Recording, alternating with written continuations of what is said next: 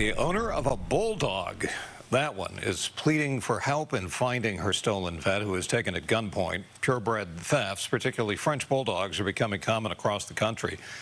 Excited Betty Yu got the story.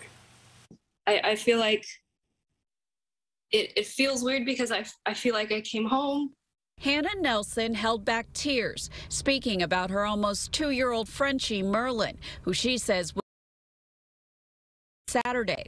Hannah was out of town for Thanksgiving, so her friend Marika took him for a walk just after 6 p.m. at 24th and Valdez Streets in Oakland. All of a sudden, um, these two men came out from nowhere. One approached me, uh, basically straight on, pointed a gun at my face, and said, Give me the dog and the other one grabbed Merlyn.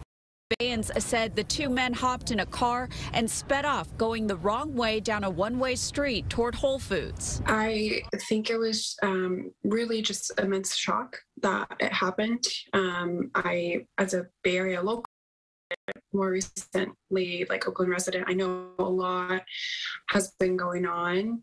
Um, but I just you know, 6 p.m., there's literally people 15 feet away from me. And I definitely thought that, you know, somebody taking him might be a possibility. So whenever I walk him, um, it's it's not usually dark out. French bulldogs are a popular breed and often targets for robbers across the country because they can fetch high prices. What have these 24 hours been like for you? Um,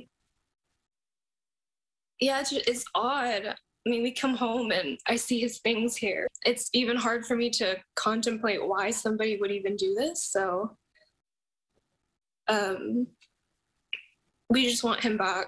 Merlyn is about 26 pounds and gray with black spots. His belly and chest are white. In Oakland, Betty Yu, KPIX 5.